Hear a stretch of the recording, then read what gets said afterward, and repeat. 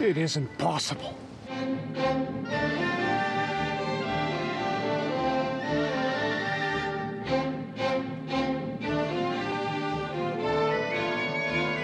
Dance!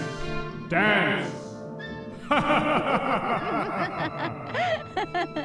Meow. You can't make aliens dance! This is just wrong. You don't know what you're tampering with. And you don't know the lost skeleton of Cadavra, but you will. You will. Enough! yes, Misko.